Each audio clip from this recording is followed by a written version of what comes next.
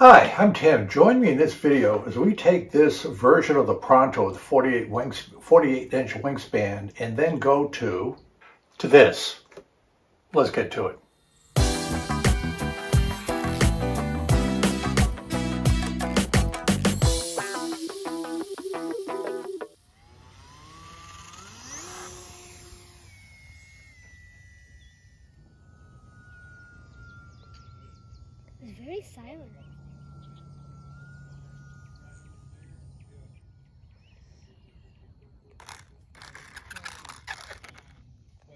Pronto I built uh, a while back from plans. Uh, the link is uh, uh in the description for Model Airplane News. It's a, a an airplane design back in the um, 1970s.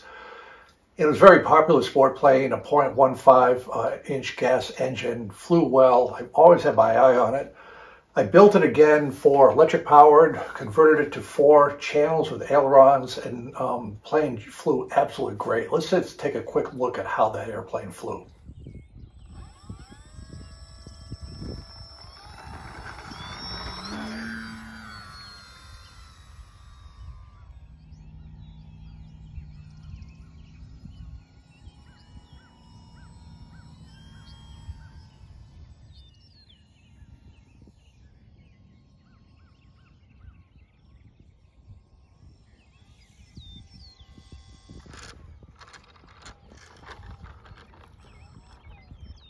So the plane had plenty of power, nice size wing. It absolutely is one of my best flying airplanes.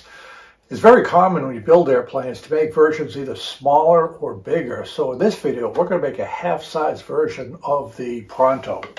Now I've done this before, and I'll give a link up here. This is a um, Lazy Bee aircraft that I just took the plans from the internet and made this size out of foam board.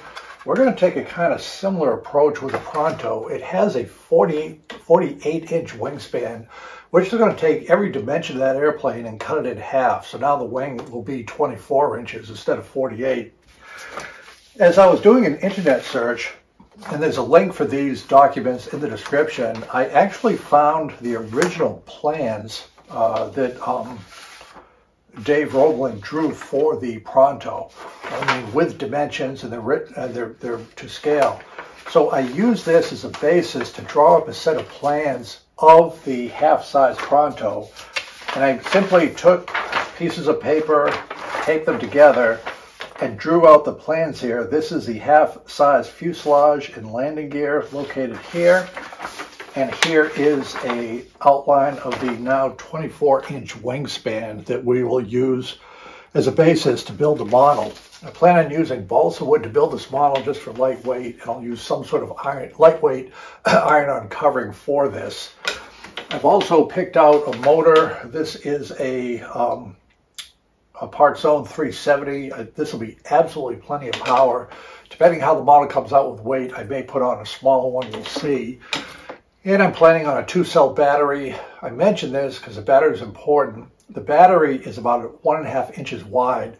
So I've got to make sure the fuselage is at least one and a half inches wide to put in the battery. So there might be some alterations from a pure half size uh, reduction of the full one uh, going in here to make sure the battery and the motor uh, fit.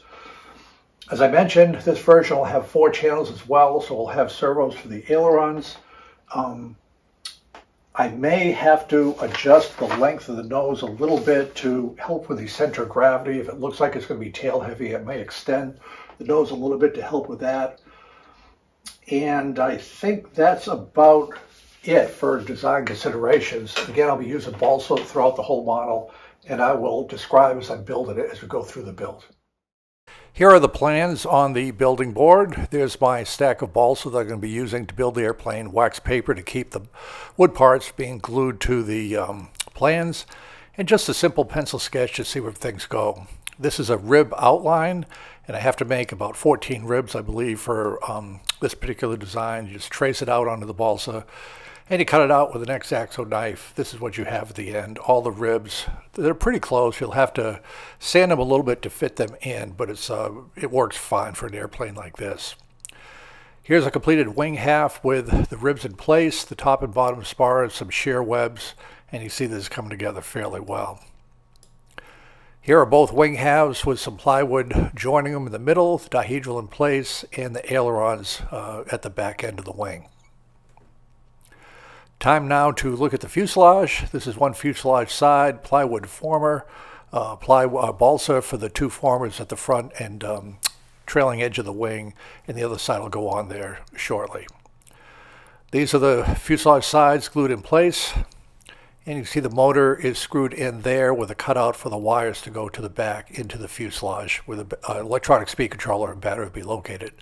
The top covering of the fuselage is in place here. And you can see the motor mounted, little dash panel. This is where the landing gear will go, plywood. I'm going to keep the rear open just to save a little bit of weight uh, in the finished model. I've made a lot of progress on the Mini Pronto. Let's uh, take a moment to catch up, see where we are. Here's the wing right here. Again, the original Pronto at a 48 inch wingspan. This is 24 inches, a little bit of dihedral, some ply, very light ply bracing on the middle, and this is the wing. So one thing I want to point out is with these smaller models, you've got to really think ahead where the servos are going to go because they, they're not going to fit everywhere. So I think the best bet is put the servos sideways here. I have tape just to hold them in place so I can do some more adjustment here. Then when it comes time to install them, I'm going to hot glue them. But because this is such a tight installation with a small model, my plan is to cover with iron-on covering the bottom of the wing first, glue in the servos, then put the covering on the top, and that way um, we'll, we'll basically seal them inside the wing, which is okay for a model like this. And again, the two servos will be connected with a Y connector, and then the uh, strip ailerons will be on the back here. So that's the plan for the um, for the wing. The fuselage is here. I think this is coming along nicely. I've decided to use a smaller motor. This is the uh, Power A-Pack from the Flite Test folks. I had it on the um, mini tiny Tudor. It gave a lot of thrust. I think it's probably a drone motor, but at any rate, it, it works out fine, lightweight. I think it'll be just fine for this model. I put the 1 16th inch sheet on the top. I'm going to leave the bottom open just to save a little bit of weight. Again, you can see the elevator and rudder servos in here.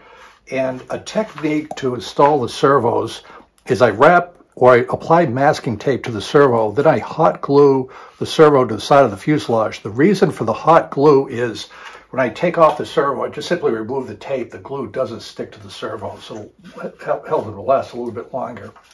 Electronic speed control and so forth. One thing you have to keep in mind as you're building, again, these smaller models, think ahead to your formers and make sure that you have room to fit in your battery. The idea is this will be a hatch this will open and shut with some screws to hold it in place. And there's plenty of room to install the battery. I'm not sure where the battery has to go. That would I'll be able to move it anywhere to achieve the center of gravity uh, on the uh, model. The other thing I want to point out is this is a 1 16th inch plywood plate. This will be glued in place and the landing gear will be installed right here. So what I plan on doing is a very old technique with um, with modeling, but it still works just fine. I'm going to drill a series of very small holes all around where this landing gear wire is. I'll take thread, wrap it around the gear to hold it in place, then smear 5-minute epoxy on it. It's a really simple, lightweight, easy way to hold on the gear that's been used since the 1930s, basically, but it's, it's worth reminding folks of doing that now. Then we'll have the landing gear in place. So the tail surfaces are just going to be 1 16th inch balsa. There's no issue with that. Now the hatch will be 1 16th inch. So I think we're making good progress. And um, that's where we are right now. So I'm going to show you a, a, decision we're going to make. I'm putting on the landing gear before we sew it on. I need to show you now before I drill holes. So here is the fuselage. This is the bottom where the landing gear is going to go. This is the plywood plate where it's going to go. Now we have a choice with the landing gear. We can put it outside, which is fairly easy, and we use the thread to sew it on. Or we can put this on the inside of the plate. I just have to cut some notches here. We'll still sew it on, but the it'll be on the inside. I think this will look a little bit better. So what I'll do is I'll cut a couple of notches here around this wire here, I'll just drill some small holes on either side, and then I'll sew on the landing gear, put on some epoxy, and that should complete the uh, installation. This is the 1 16th inch ply landing gear plate with the notches cut out for the landing gear. I'll trowel fit the landing gear to make sure the notches clear it on the side of the fuselage. And the next step will be to draw some uh, lines around the landing gear so I know where to drill the holes for the thread that will then attach the, the landing gear to this plate. These are the lines that I discussed. This will be the guide for drilling the holes for the thread, and there the holes are right there. We use metallic beading thread to, to put it on. So here there the thread is around the plate, as well as the glue on the top to keep everything where it should be. I've completed the, uh, the um, sewing of the landing gear to the bottom ply plate using beading wire.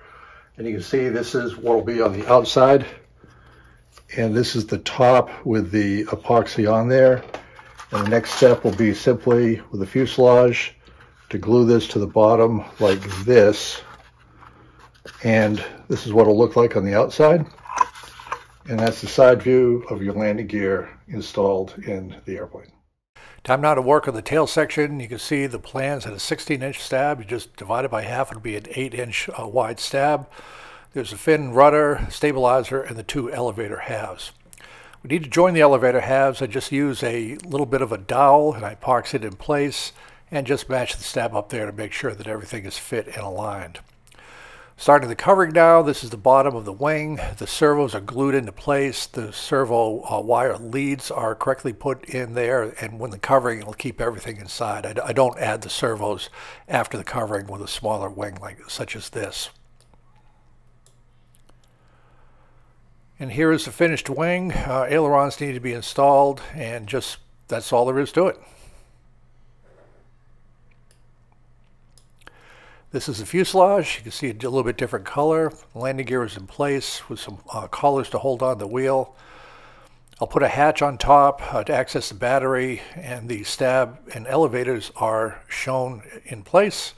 We've glued on the fin and rudder. You can see the hatch uh, for the uh, front and just an easy to use uh, hinge for the rudder. Here's an underside view for the control horns. I use popsicle sticks, just drilled a hole, glue those in place. It works fine for lighter models like this. Notice the bottom is open to save a little bit of weight. Here the covering is on the uh, nose. The landing gear, as we talked about, is stitched in place with a metal uh, beading thread. And then finally here is the servos in place and the shrink uh, tubing overlapping uh, control rods to help with the adjustment.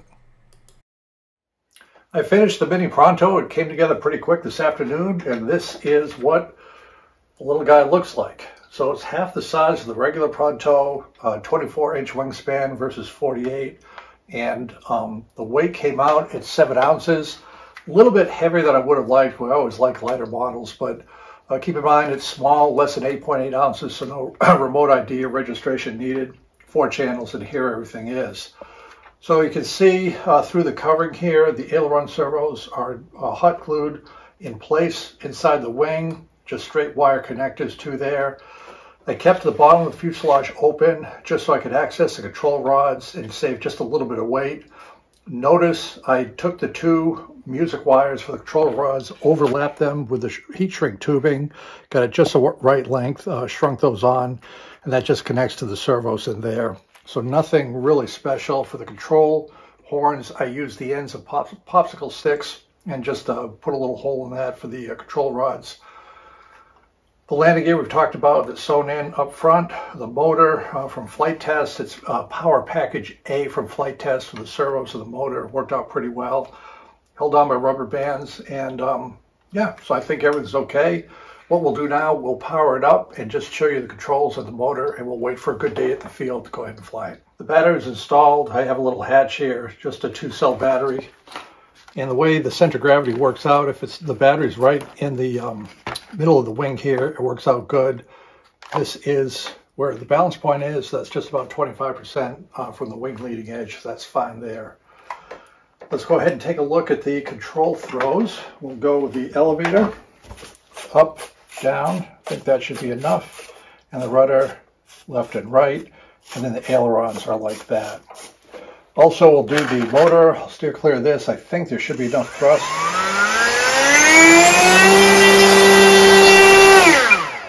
I think that should be sufficient for the flight. So that's the airplane. I'm happy the way they came out, and we will just wait for a calm day of the field and go take it for a test flight. Okay, so we're out here at the field today. It looks like a beautiful weather day. We've got the Mini Pronto, and we're going to try to give it its first test flight. So I'll plug in the battery, do a control check, and then we'll see if we can take off.